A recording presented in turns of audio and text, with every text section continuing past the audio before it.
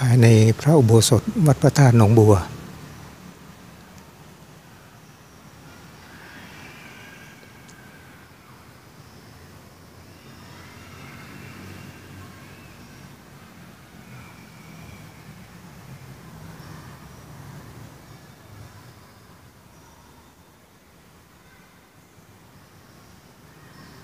พระประธานเป็นปางสายญาติ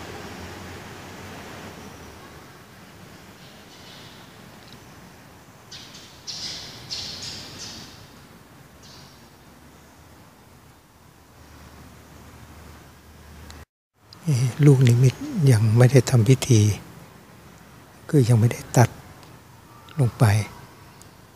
มีผู้นำแผ่นนาคแผ่นทอง มารองไว้ที่ก้นหลุม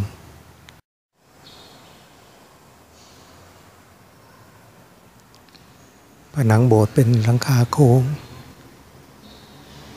มีภาพพุทธประวัติ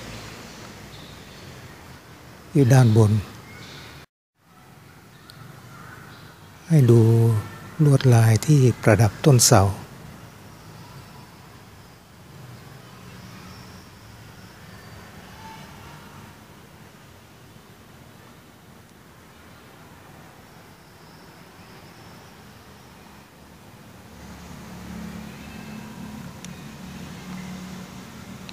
ส่วนทางด้านบนนี้เป็น เป็นรูปพุทธประวัติ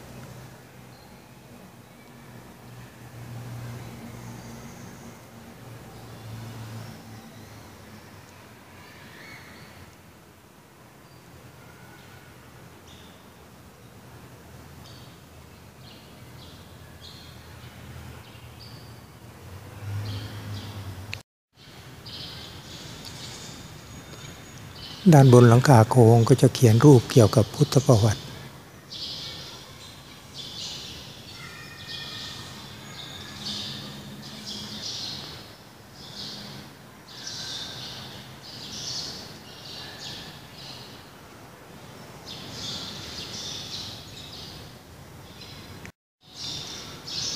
ลองมาดูอีกด้านหนึ่ง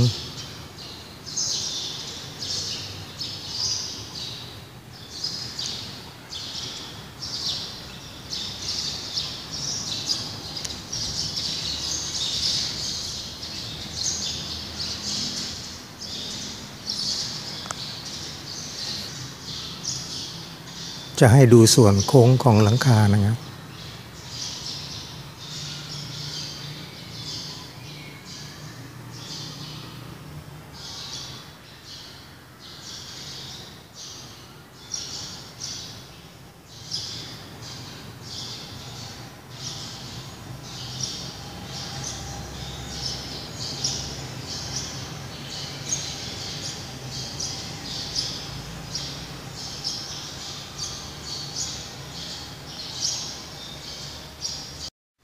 ดูภาพแกะสลักที่บานหน้าต่าง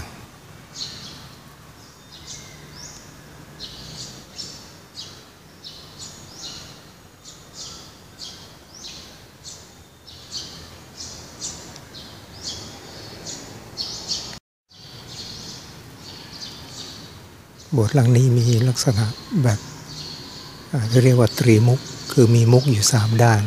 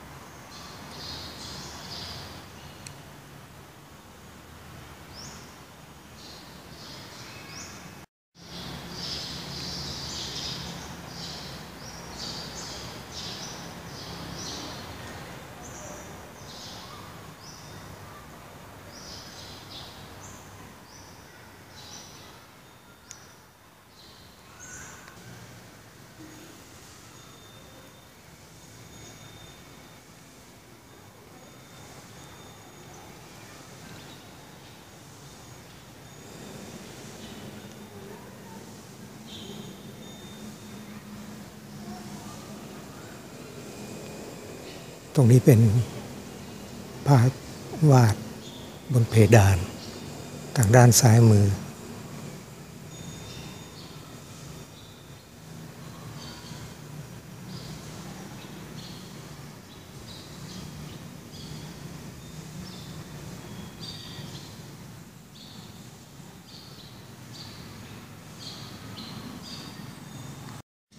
ด้านนี้เป็น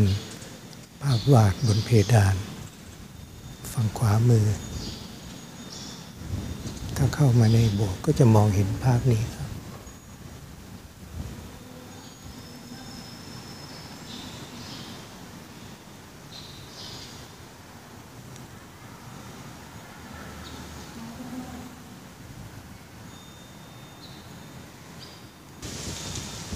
จากด้านหน้าพระอุโบสถ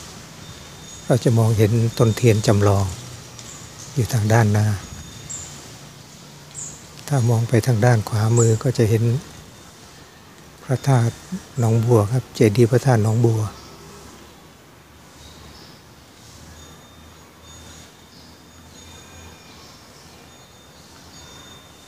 ตรงหน้านี้ก็จะมีรูป เป็นพระพุทธรูป จากที่ต่างๆ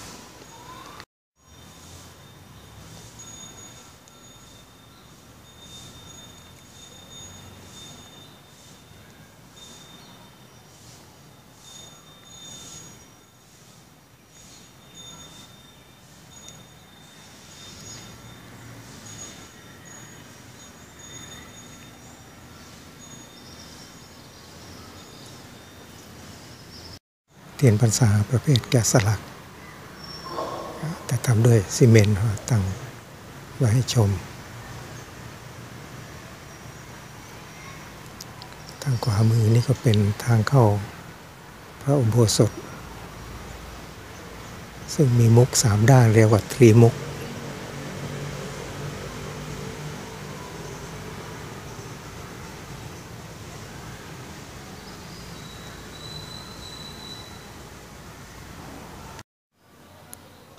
ตรงนี้เป็นหอระฆังครับ